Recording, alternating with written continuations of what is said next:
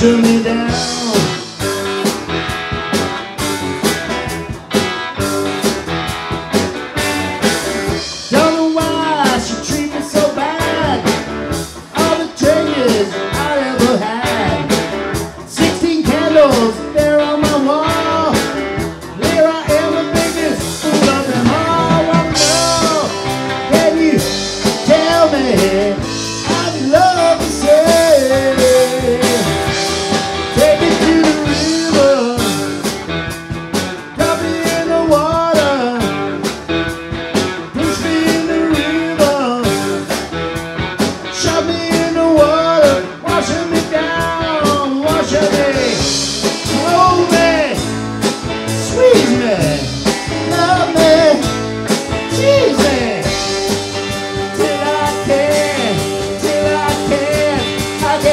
no more to me.